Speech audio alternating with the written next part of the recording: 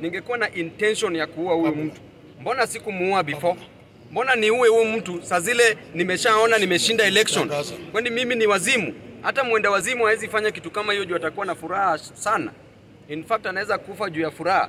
Hii maneno ya kusema watu wameua mtu yaachane na hiyo puzi. Kitu ya pili, kulikuwa na election ya president, kulikuwa na aspirants wa president, kulikuwa na election ya governor, aspirants walikuwa, kulikuwa na winner, kulikuwa na losers, kulikuwa na election ya senator, kulikuwa na winner, kulikuwa na losers, kulikuwa na election ya women rep, kulikuwa na winner, kulikuwa na losers, kulikuwa na election ya MP, member of National Assembly, winner, losers, MCA, winner, losers, which means that kwa hii election ya Embakasi East kulikuwa na over 50 aspirants.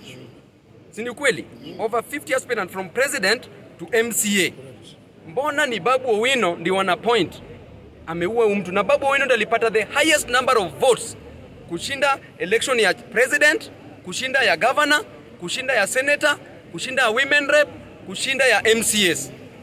So hii upuzi huyo jamaa achane nayo. Mimi maneno ya koti, kama nataka kwenda election petition, alinipeleka kotini 6 months, alinipeleka high court 6 months court of appeal 6 months supreme court, bado tukutane naye hiyo kotini.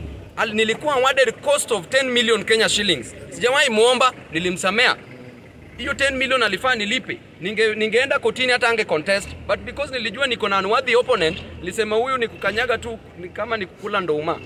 Beating Muredhi was as easy as snatching a lollipop from a baby. Asante sana.